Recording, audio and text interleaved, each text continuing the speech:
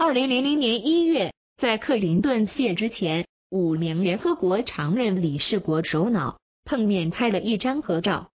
为了拍这张看似偶然的照片，据说江泽民费尽心机，事先让外交部去找关系打通关节：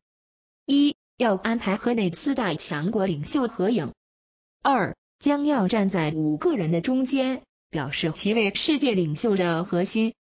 这个愿望的实现有相当难度，即使四大强国领袖同意与江泽民合影，也轮不到他站中间。于是只好一层层驶上前去说服负责大会安排的人、通讯社，并具体落实到人头。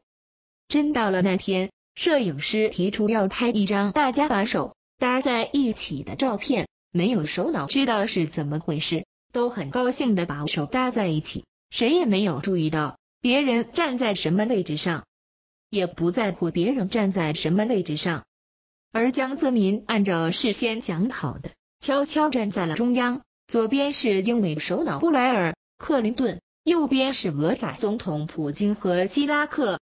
有海外媒体报道，江泽民为了这张图片，足足花了中国纳税人五十万美金。